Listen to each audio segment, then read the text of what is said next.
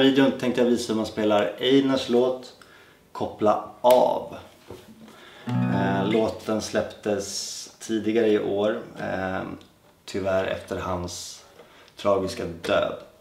För er som inte vet det så har jag en låt med Einar som ännu inte är släppt, som tyvärr inte kom med på det här albumet. Den heter Sista gång.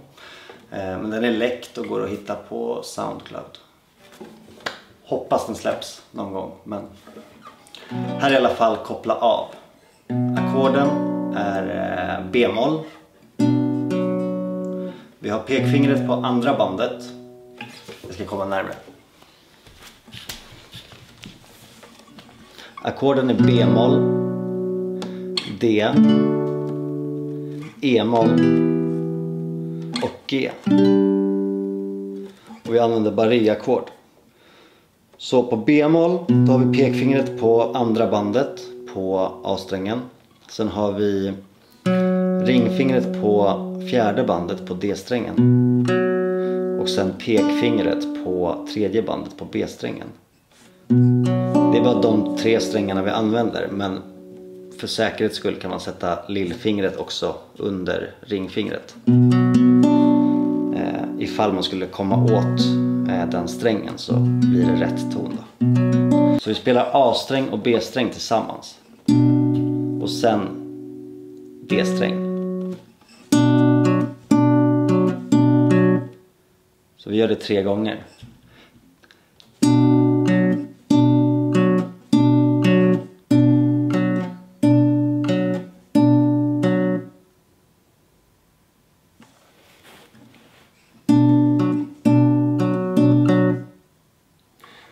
Sen går vi till D-ackordet. Då har vi pekfingret på femte bandet på A-strängen och sen lägger vi ringfingret över sjunde bandet på D, G och B-sträng. Och här spelar vi samma mönster. Alltså A och B-sträng tillsammans och sen D-strängen. Kommer vara samma mönster på alla ackord så att jag inte behöver upprepa det.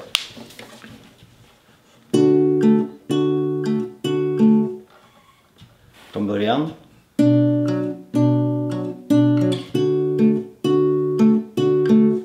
Sen E-moll.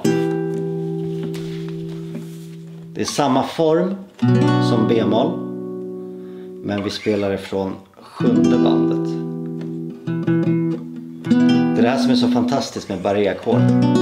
Att man bara flyttar formen. Så, samma här. Och sen går vi till G. Och det är samma form som vårt D. Fast från tolfte bandet. Nej, tionde bandet. Problemet här Problemet på G-ackordet är att den avslutar med den här tonen.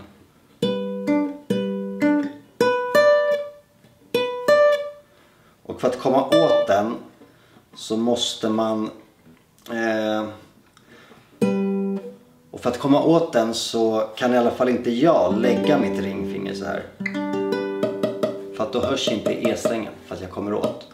Så istället sätter jag fingrarna så här så att jag har pekfingret på A-strängen, ringfingret på D-strängen och lillfingret på B-strängen. Eftersom bara de strängarna spelas. Sen håller jag ner tionde bandet på E-strängen med mitt pekfinger också då, som ligger över hela.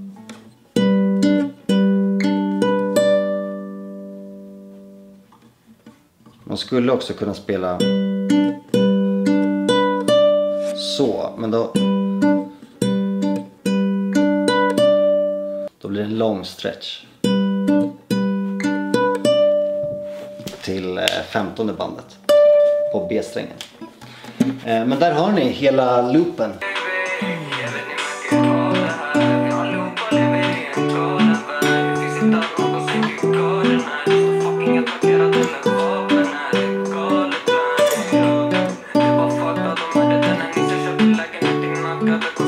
Det klart att de är lacka Jag gjorde 17 mil där och det är klart jag Just det.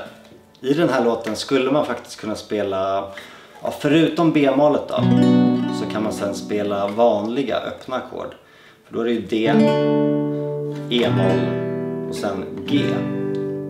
Så då skulle det väl låta något sånt här då.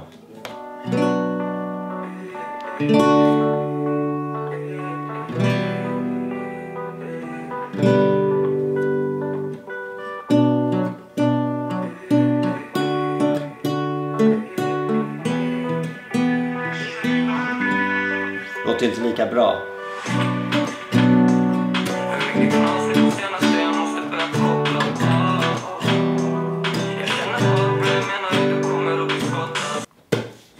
Hur som helst, det var Einar Koppla av.